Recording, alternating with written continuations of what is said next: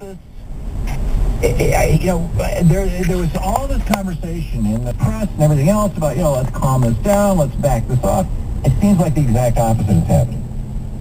Sure. You know, World Net Daily, I, I went to their conference two years ago, and Trent Franks, another Republican member of Congress from Arizona, was the headline speaker at that event, and he said Obama is the uh, enemy of humanity. And a panel that, that preceded his, his speech basically told everyone that Obama is like Hitler and that the attendees should get extra guns for a, quote, bloody battle uh, with progressives.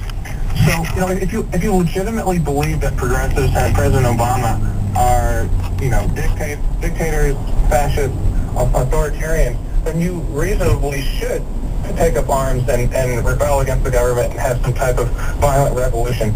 But it, again, just the reality is just so far divorced uh, from our, our politics. It, it takes uh, true leadership from the right to come up and and tamp down on this, this rhetoric. You know, a, a Buckley moment from the 60s, at least the crime the craziness from the John Birch Society.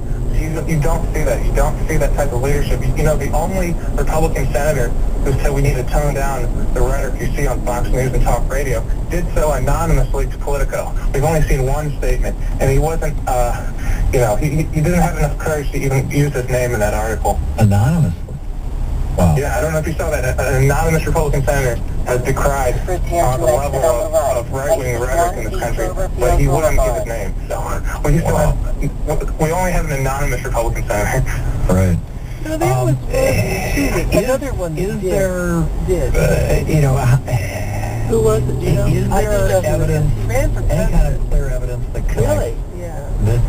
This Who was actions I can't think of to He could- uh, see inflammatory right-wing hate speech? He was one that used to wear the Um, plaid you know, I. I think the jury is Uh-huh. still out there, but if you look at his um, videos and you read some of these articles about people who knew him, um, there are interesting uh, tidbits that, that, Oh. that lead you. Oh no, you Judy, we're not involved. You know, I know, but I heard anti-government. He two the government was out to get him, that they were going to take control of the country, the government was I'm making a video so I can get this the government was acting in an unconstitutional way. He believes his own Well, people have to watch. They're probably all listening to this because it report. receives government funding. I mean, these are common threads. Got it. I Uh, if you listen to Alex Jones Look at that. or watch uh, Glenn Beck on any afternoon, you'll, you'll see these, There's one these right type of motifs.